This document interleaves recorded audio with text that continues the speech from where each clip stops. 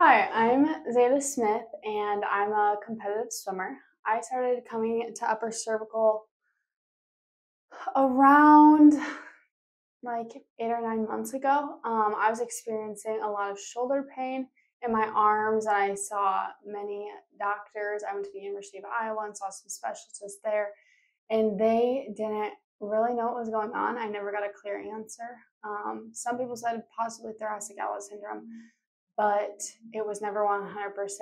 Um, I saw many physical therapists, and they, I just felt like it never helped. Um, but then we found upper cervical chiropractic, and it has changed my life tremendously. Um, I'm now able to swim with no pain, and I feel like the the journey definitely has come a long way. Um, from being told I was not going to be able to swim the swim season to sitting only two weeks out of the season, coming here and being able to jump right back into it with little to no pain almost right away was just amazing. And I highly recommend Upper Cervical Chiropractic. They're amazing. And um, the minute you walk in the door, they're so welcoming and always put a smile on my face.